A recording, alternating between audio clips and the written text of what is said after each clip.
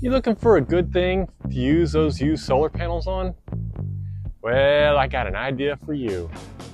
Here I have built a solar shed with 12 used panels that cost me a grand total of $180. Yes, you heard that right. 12 panels that cost $180. I simply mount the panels to the shed, run them in four in series, three parallel, and then send them over to the RV. The RV contains the Victron charge controller, the smart charge controller. It is a 150 volt, 35 amps smart charge controller. And then it has it has 31 kilowatt hours of batteries that store all this power in addition to storing the additional 20 to 25 kilowatt hours that comes off of the roof panels. On top of the RV, there is another 3,700 watts of power up there. And those combined with these generate up to 30 to 35 kilowatt hours a day. And all of that energy is stored in my RV's batteries and a 6000 XP I use to produce all of the power that runs my entire RV 24-7 off-grid practically for the whole year so far. Now these panels I found online and I'll include a video link to how I did it. It basically comes down to good heavy persistence and watching and tracking and keeping an eye out for good deals and then being able to take advantage of those good deals when they pop up. Now, I did have to drive about, I would say probably about 110 miles to get these. And I did have to shop through about 600, maybe a thousand scammers in order to find real panels on sale. Now, a lot of people ask, the only idiots would sell panels like this for that price. So let me explain why they were sold that way to me in this particular case, but that doesn't mean that there aren't other reasons that they could be sold this way.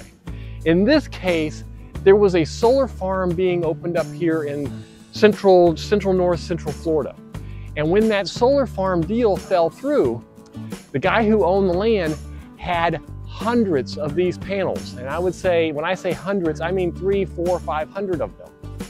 He decided that he couldn't do anything with them and they were sitting out there aging. Now they are 250 watt panels and they are a little bit older and the connectors on them are worn off and needed to be replaced and they don't generate the full 250 watts. Now there is 3,000 watts of power on this shed, but because they are set up the way they are, they don't get that much. The panels on the top produce pretty good.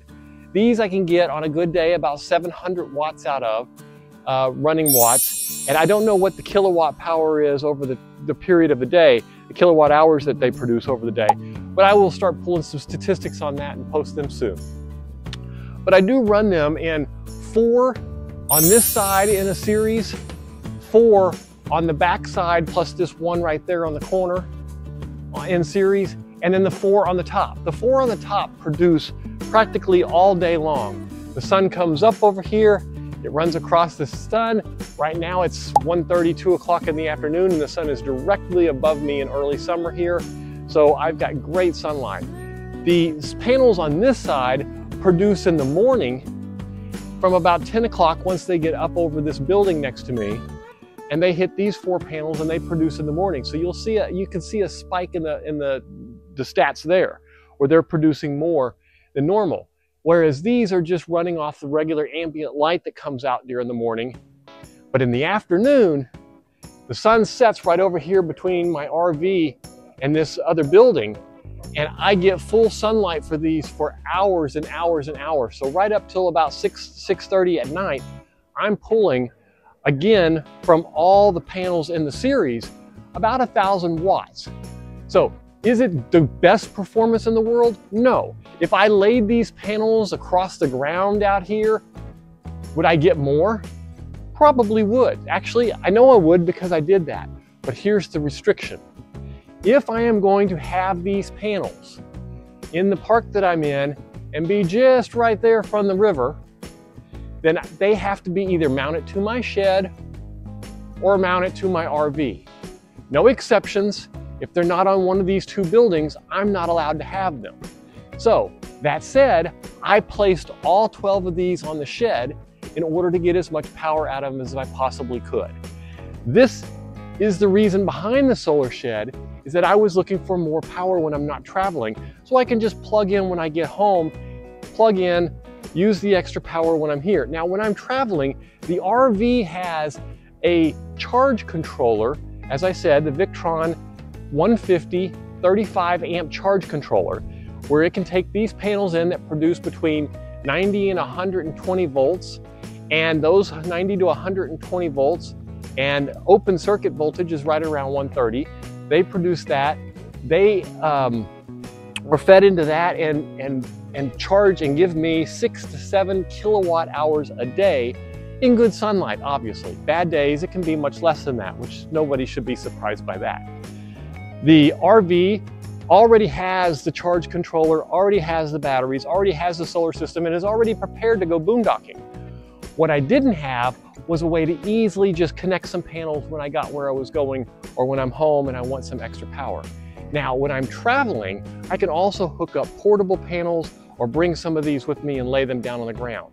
But the purpose behind this was to comply with the regulations that allow me to have them here and be able to stay here close to the river where I can enjoy the, the, the nice fishing and the other things that go on down at the river. So I hope this answers the questions about the solar shed why I did it the way I did it, and where I got my panels from, and how you can build one of these yourself.